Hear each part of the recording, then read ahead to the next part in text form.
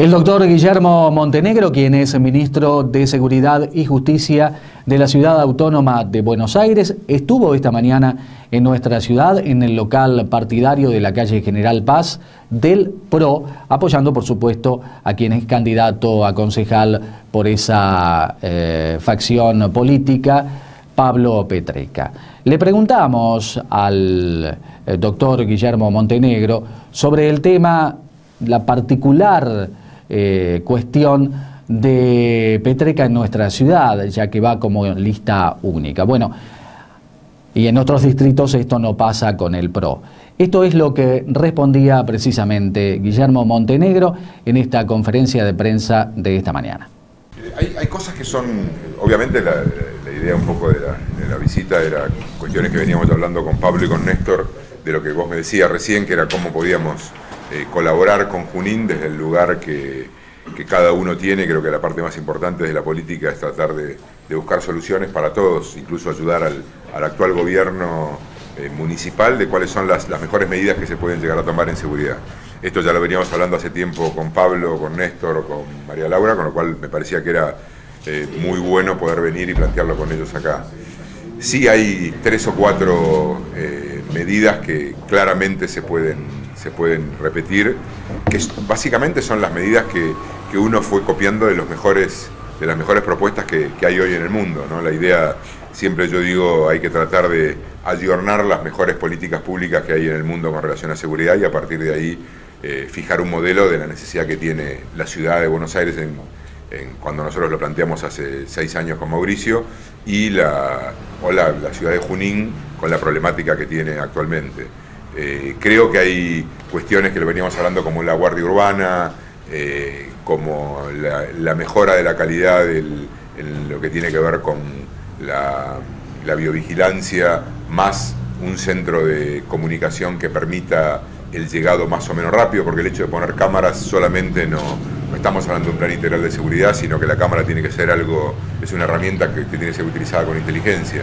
con lo cual tiene que haber la posibilidad de de una comunicación directa con el personal policial que va a llegar. O sea, todo esto tiene que ver con medidas de coordinación que incluso tiene que ver entre la, lo que sería incluso el actual cuerpo de inspectores de tránsito, agencia de seguridad vial que hay en, la, en Junín, más una guardia urbana, más la, provincia la policía de la provincia de Buenos Aires, más la policía federal. Esto es, acá la seguridad lo que hay que tener claro es que no es una discusión política.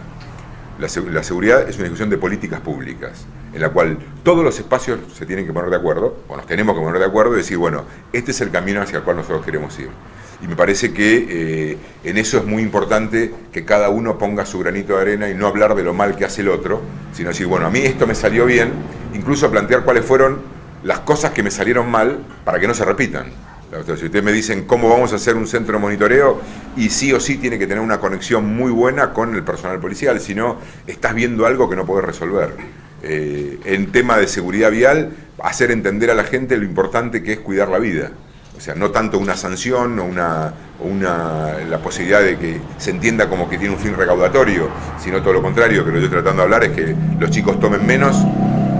si van a manejar, o sea, esto no quiere decir que no tomen, sino decir, miren, sean conscientes que cuando van a manejar no tienen que tomar la utilización del casco en la moto. La utilización del casco en la moto te reduce más de un 70% de la mortalidad en los accidentes en moto. O sea, hay un montón de medidas que nosotros fuimos viendo y algunas que incluso hoy no hemos podido resolver. O sea, si vos me decís cuál es el, gran déficit que hoy tenemos en seguridad vial en la ciudad, es el peatón. O sea, hoy nosotros pudimos bajar todas la, índice de mortalidad en lo que tiene que ver con el, automovilista, con el motociclista, el peatón, el argentino, nosotros somos desordenados y, somos de cruzar por la mitad de la calle. Uno pregunta en cualquier lado eh, si alguna vez no violó una norma de tránsito y la verdad que todos la violamos.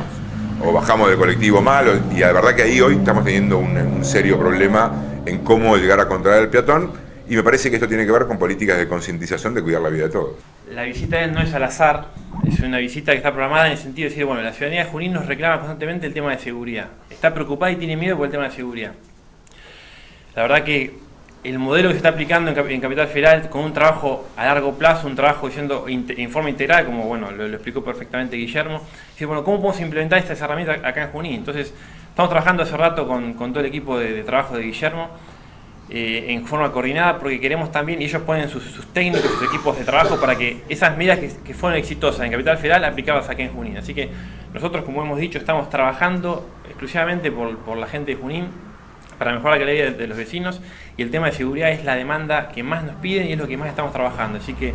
agradecerle a Guillermo esa disposición y disponibilidad para ponernos todo el ministerio a disposición nuestra, a disposición de la gente de Junín, ¿no? que eso, eso es muy importante, para que podamos trabajar en forma conjunta y coordinada para poder darle soluciones y que la gente se sienta más segura y más tranquila. Y con cuestiones básicas, como hablaba él, del tema de las luminarias, la gente tiene miedo y si uno le da una, una calle iluminada, un espacio público eh, donde sea eh, tranquilo uno pueda transitar, la verdad que son un montón de medidas que se pueden trabajar en forma conjunta y que, en definitiva beneficia al vecino. Así que bueno, agradecerle a Guillermo la visita, agradecerle la disponibilidad y todo el ministerio a disposición también para la gente de Junín para trabajar en forma coordinada. Así que bueno, muchas gracias.